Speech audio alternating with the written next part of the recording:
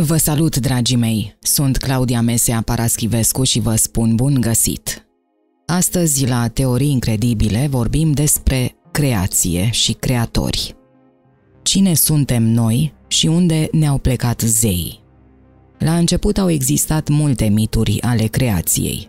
Multe dintre marile tradiții spirituale au povestit despre cum lumea materială a luat ființă dintr-un domeniu fără nume – unele tradiții au vorbit despre oul cosmic din care a apărut forma, sau, ca în Vechiul Testament, din adâncul întunecat și fără formă, unde se mișca Spiritul lui Dumnezeu. La început, Dumnezeu a creat cerul și pământul, și pământul era fără formă și gol, și întuneric era pe fața adâncului, și Duhul lui Dumnezeu s-a mișcat pe fața apelor. Geneza 1 cu 1 și 1 cu 2. Tradițiile spirituale hinduse din India vorbesc despre o realitate subiacentă, care este Brahman, o realitate care este eternă și veșnic neschimbătoare. Lumea spațiului și timpului cu care suntem familiarizați este cunoscută sub numele de Ila, care descrie lumea noastră fizică drept terenul de joacă al jocului creativ neîncetat în Brahman. În ceea ce privește această cosmologie, omenirea este într-adevăr în joc în câmpurile Domnului. Vechii riși vedici hinduși au spus că esența tuturor lucrurilor din lumea materială îi aparține lui Akasha, un termen sanscrit. Akasha se referă la un al cincilea element al cosmosului, dincolo de aer, vata, foc, agni, apă, jal și pământ, pritivi.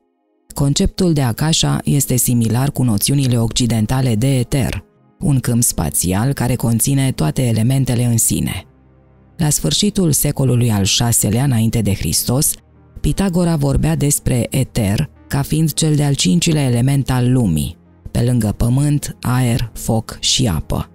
În terminologia mai modernă vedem asemănări cu noțiunea de vid cuantic subiacent sau plen ori matrice, care este descrisă ca marea energetică a cosmosului din care se manifestă materia, realitatea. Matricea Akasha, eterul sau cuantul, este domeniul energetic cosmic din care totul a apărut și în care totul se va întoarce în cele din urmă.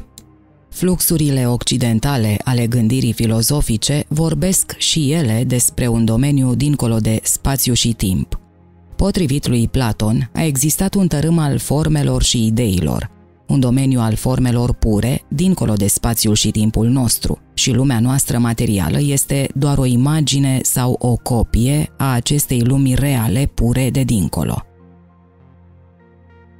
Despre acest tărâm pur au vorbit și alți filozofi eleni. Pitagora s-a referit la el drept cosmos, iar Plotin ca cel unul, Poate cea mai faimoasă ilustrare a gândirii lui Platon este alegoria sa din Peștera. În această alegorie, Platon descrie un grup de oameni care și-au trăit toată viața înlănțuiți și cu fața la peretele unei peșteri. Tot ce pot vedea este peretele gol al peșterii care se află în fața lor. Deschiderea peșterii este în spatele lor, iar lumina care intră aruncă umbre pe peretele îndepărtat al peșterii. Pe acest zid, zi de zi, oamenii înlănțuiți privesc umbrele mișcându-se, deoarece nu se pot întoarce și nu văd obiectele adevărate care trec în spatele lor. Astfel, ei văd aceste umbre ca fiind realitatea lor și le atribuie forme, rațiune și viață. Aceasta este iluzia, umbrele de dincolo, pe care o atribuim drept realitatea noastră și căreia îi dăm sens. În mod similar, înțeleptul chinez Lao Tse sau la o zi. A vorbit despre toate lucrurile care își au originea în Tao sau Dao, ca fiind rădăcina nevăzută a tuturor lucrurilor materiale. Tao este atât originarul, sursa tuturor lucrurilor, cât și destinația la care toate lucrurile se întorc în cele din urmă. Este esența inobservabilă și fără nume, fără spațiu, fără timp, fără formă, care eșuează cuvintele noastre. Sunt aceste non-spații tărâmurile în care locuiesc zeii noștri? Miturile noastre pot fi singurele fire care ne leagă de astfel de tărâmuri. Sunt narațiunile care rămân în domeniul pământesc pentru a ne ajuta să ne zguduie amintirile. În teoria sa a anamnezei, Platon spune că umanitatea posedă cunoștințe despre trecutul său, doar că am uitat această cunoaștere și deci trebuie să redescoperim cunoștințele din noi. Platon a scris că omenirea poate cunoaște lumea reală doar sub formă de amintiri, adică gândirea umană este într-adevăr o formă de amintire și că omenirea a existat în general într-o stare de amnezie colectivă, având doar fragmente de amintire ca puncte de referință pentru realitate.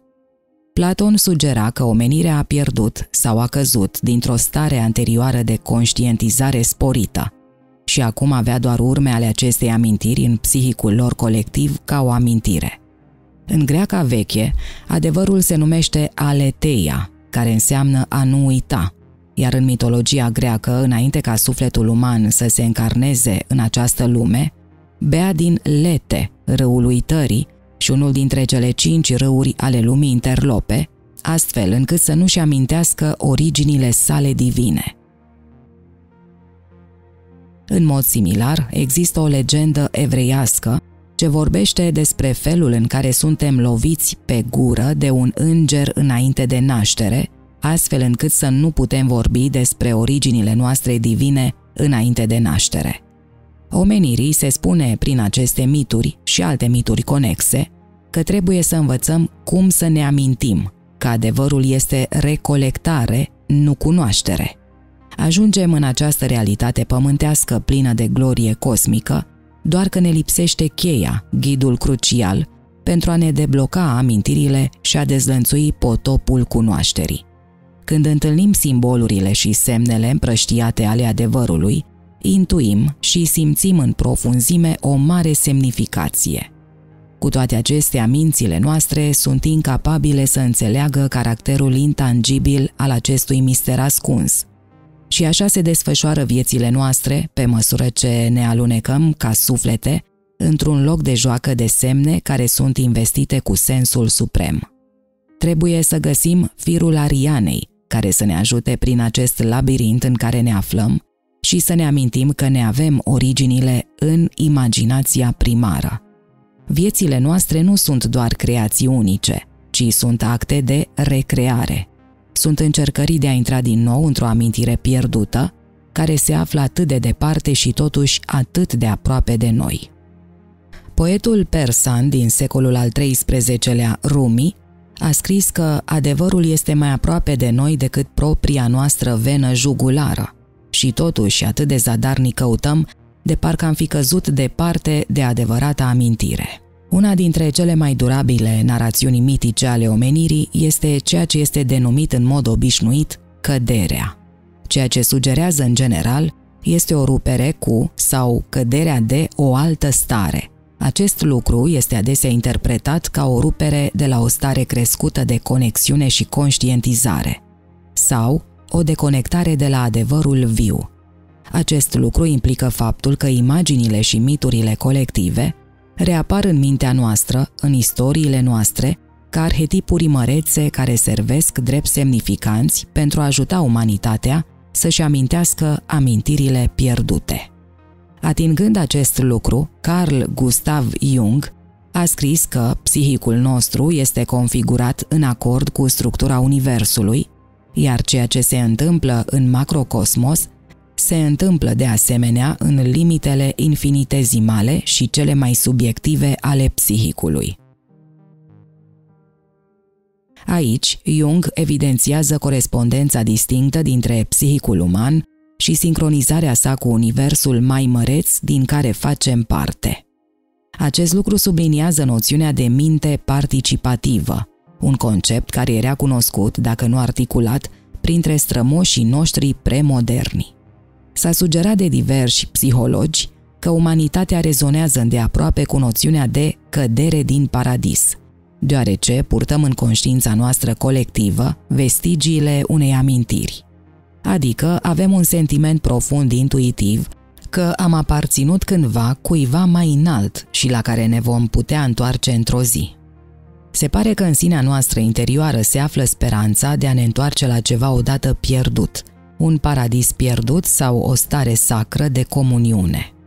Această idee a fost exprimată în formă alegorică în multe povești, cum ar fi următoarea poveste, The Precious Jewel, adaptată din surse orientale. Într-un tărâm îndepărtat al perfecțiunii, a existat un monarh drept care avea o soție, un fiu și o fică minunați.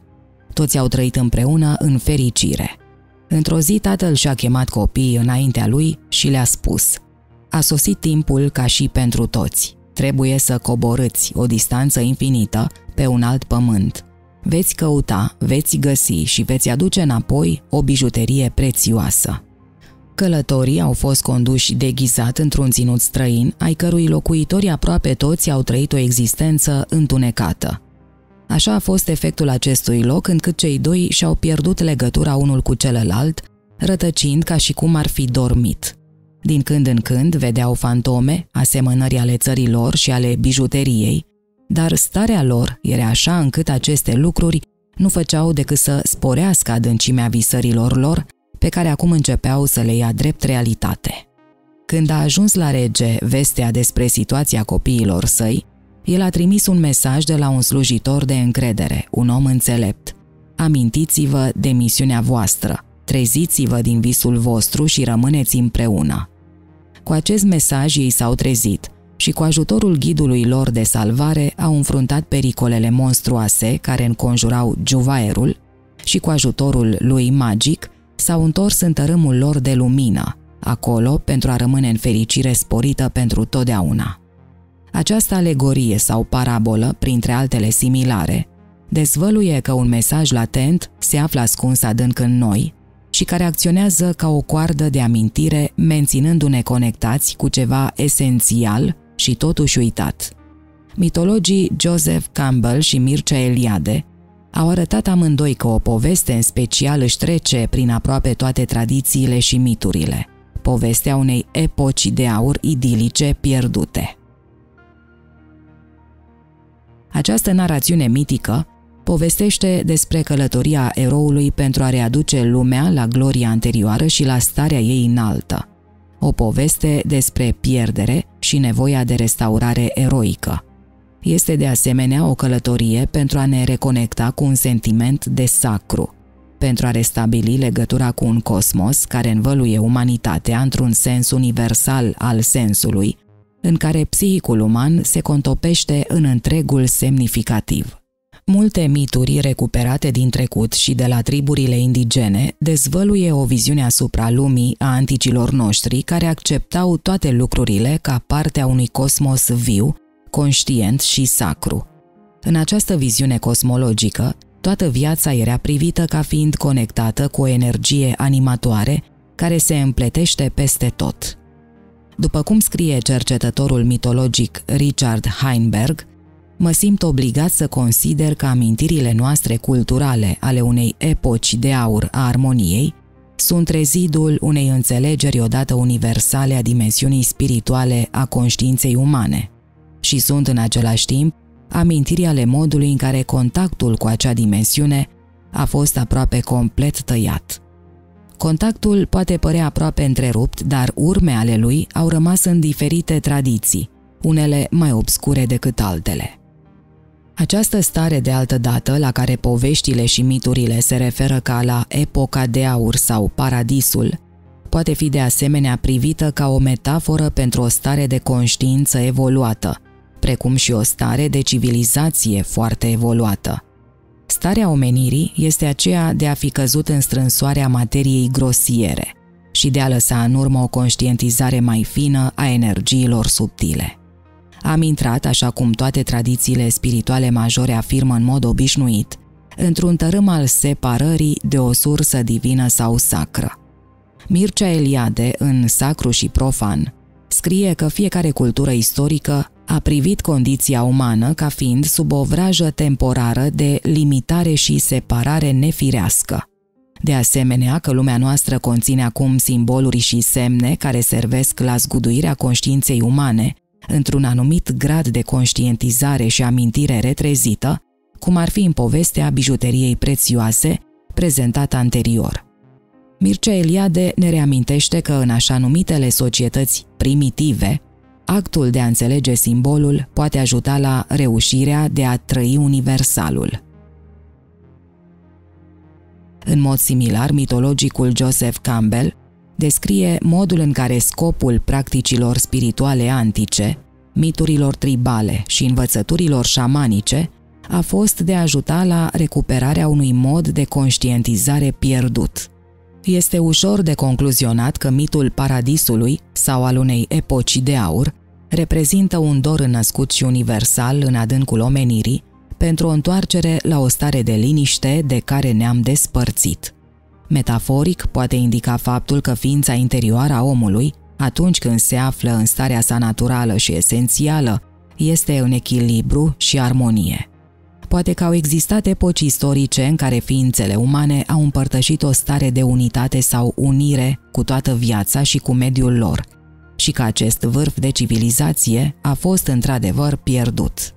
Legenda Hopi a primilor oameni vorbește despre o perioadă din trecutul antic în care oamenii s-au simțit ca una și s-au înțeles fără a vorbi, ca și cum ar sugera o formă de comuniune colectivă. Această legendă descrie o perioadă în care oamenii de pe planetă manifestau o formă de percepție suprasenzorială și în care dialogul avea loc adesea între diverse entități. Antropologul Roger Westcott scrie că, mai mult decât atât, majoritatea tradițiilor mitice sunt de acord în a afirma că, în epoca de aur, ființele umane se asociau ușor și adesea cu ființe care erau descarnate sau doar intermitent întrupate, variind de la zeități cosmice minunate la spirite locale jucăușe.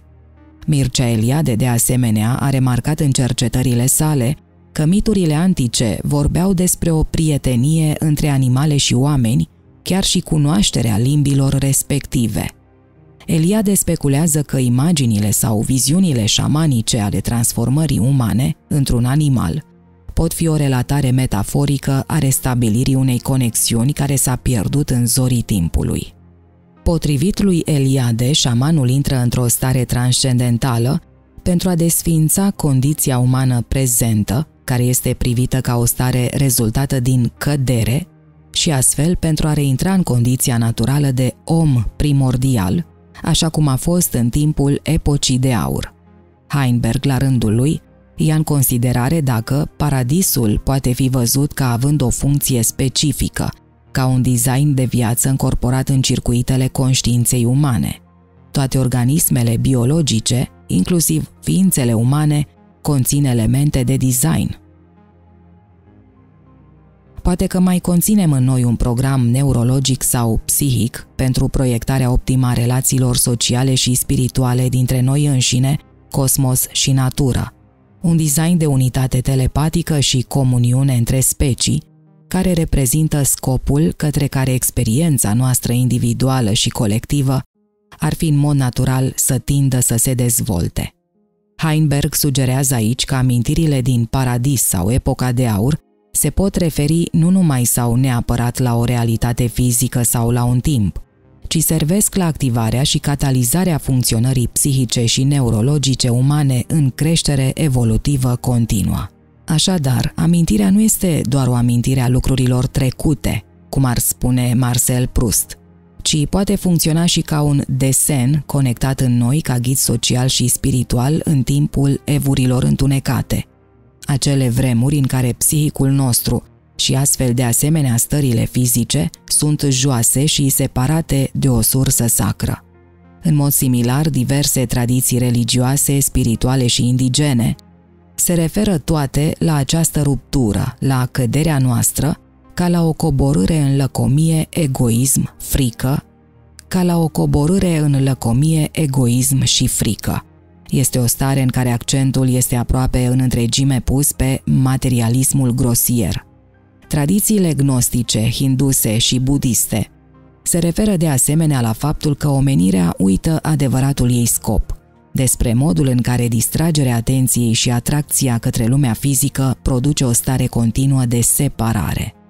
Miturile nordice teutonice afirmă și ele că o reînnoire a lumii va veni numai după o mare distrugere în care ar apărea o perioadă de haos și dezordine, care ar vedea oamenii să comită multe acte degradante și tragice. Există de asemenea numeroase relatări în texte antice și sacre care descriu tema distrugerii și reînnoirii ciclice din relatării biblice, scripturi hinduse și narațiuni tibetane.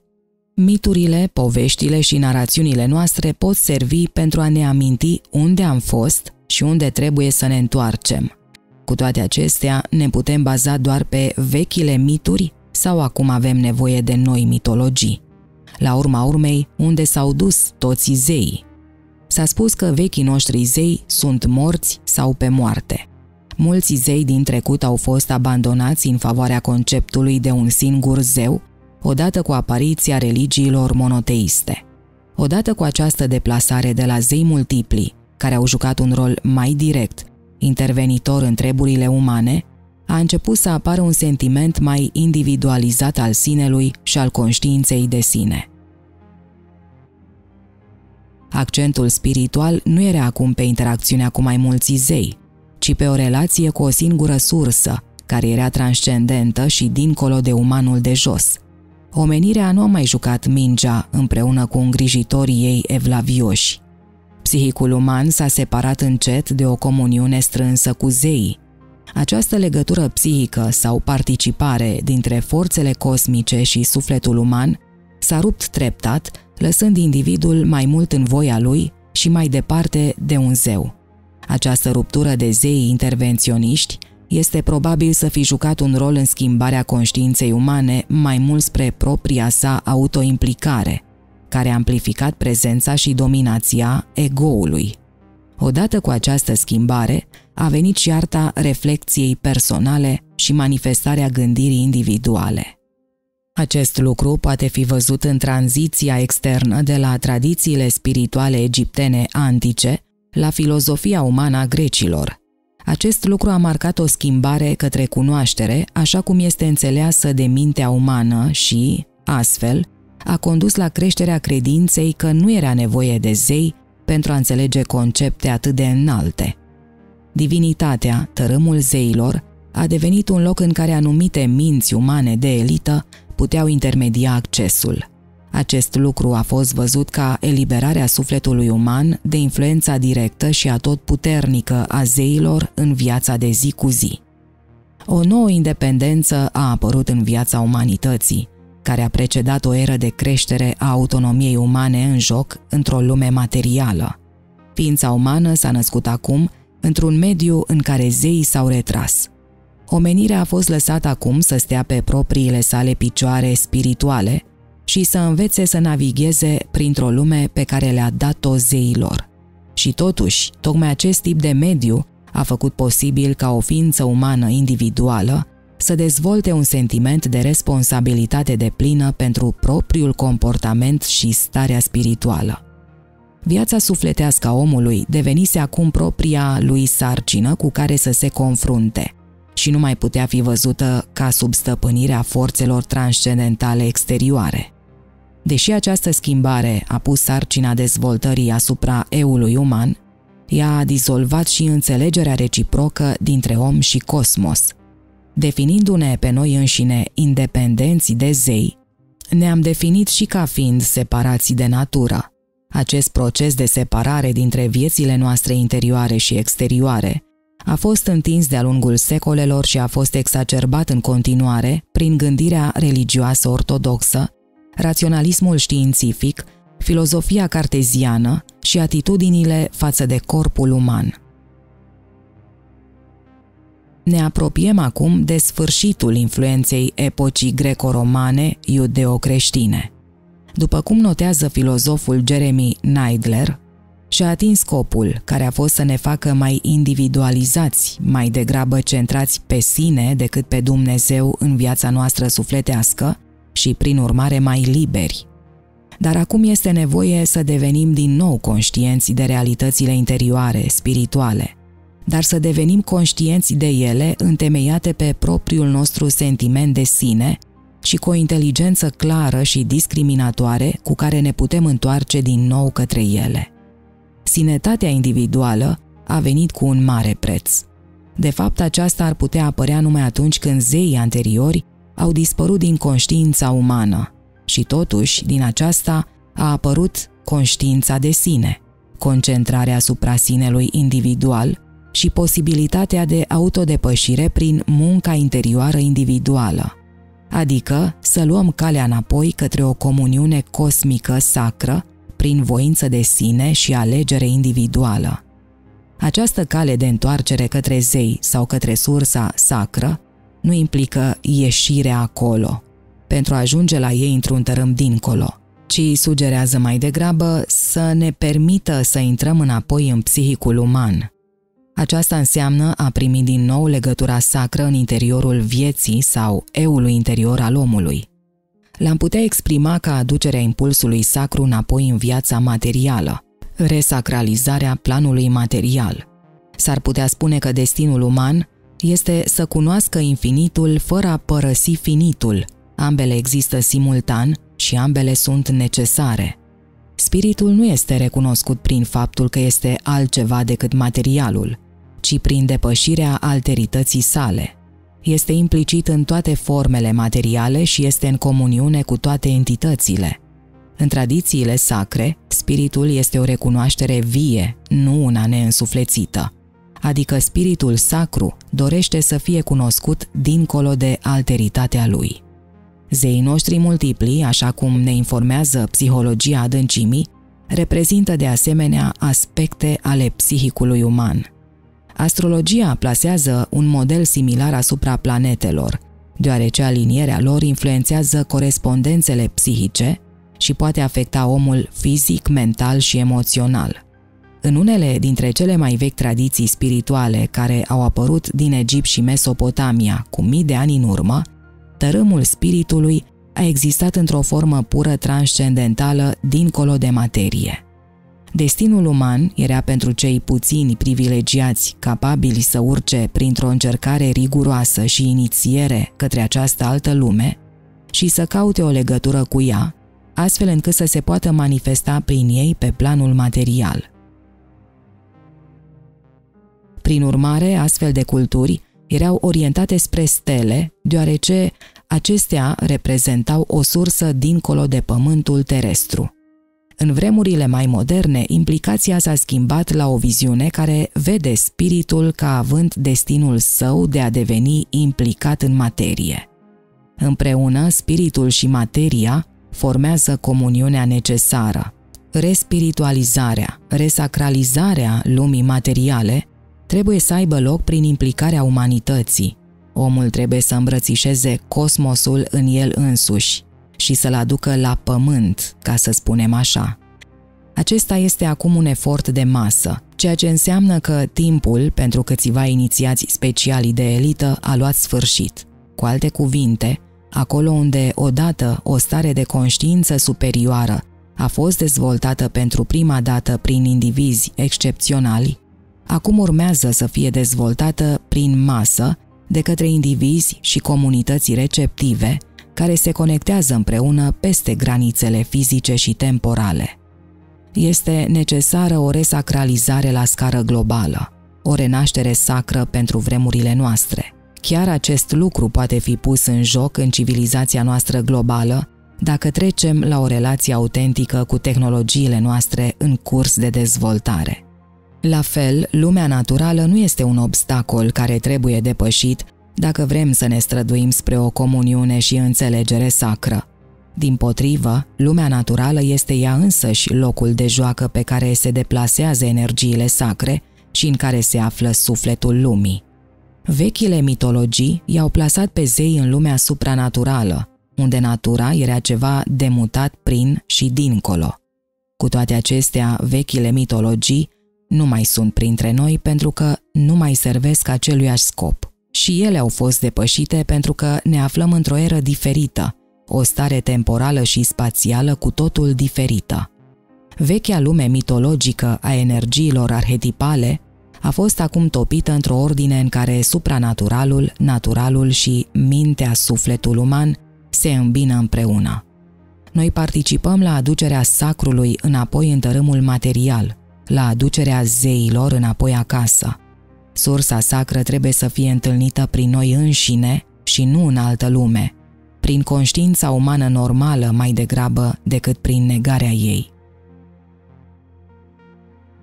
Putem spune că umanitatea a intrat într-o nouă etapă în drama cosmologică ce se desfășoară și că această etapă are legătură cu redescoperirea infinitului pe sine în sfera finitului. Din această cenușă trebuie să ia naștere o nouă mitologie, una care se află în gestiunea interioară a omenirii de ceva vreme deja. S-a sugerat că suntem într-o luptă pentru sufletul occidental, deoarece am dormit în mare măsură prin criză după criza spiritului. O nouă mitologie devine rapid atât o necesitate socială cât și spirituală, pe măsură ce vechile noastre cadre și viziuni asupra lumii se dizolvă din utilitate. Mitologia are puterea de a ne conduce și de a ne ghida prin viața noastră, ca însoțitor în călătoria psihospirituală a transformării. O mitologie este un set de figuri și simboluri care pot reflecta și modela o stare de spirit. Ele pot servi drept cadru perceptiv, pot fi filtrele și prietenii noștri, dar nu ne aparțin și niciunui anumit loc nu aparțin. Sunt disponibile pentru toată lumea și sunt dincolo de mintea individuală.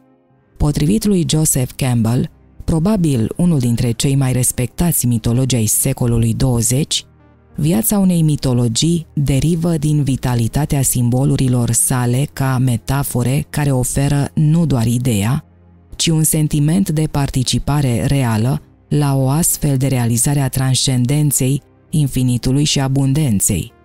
Primul și cel mai esențial serviciu al unei mitologii este acesta, de deschidere a minții și a inimii către minunea totală a tuturor ființelor, iar al doilea serviciu, deci, este cosmologic, adică de a reprezenta universul și întregul spectacol al naturii, atât așa cum este cunoscut minții, cât și așa cum este privit de ochi. Atunci mitologia ar trebui să servească la participarea la propria noastră transcendență în mijlocul spectacolului cosmosului. Din păcate, atunci când mitologiile devin blocate ca sisteme de control social, politic și religios, calea dezvoltării umane devine distorsionată și tulbure. Miturile subliniază comunitatea și ne oferă o comuniune transcendentală dacă nu le corupem în închisori mentale ulterioare. Prin urmare, este esențial ca noile mitologii pentru o renaștere sacră să inspire în omenire dorința de interiorizare a impulsului cosmologic care este omniprezent și care iradiază realitatea noastră. Dragii mei, atât pentru astăzi. Vă mulțumesc ca de obicei pentru că mi-ați fost alături și vă aștept cu drag și data viitoare. Pe curând!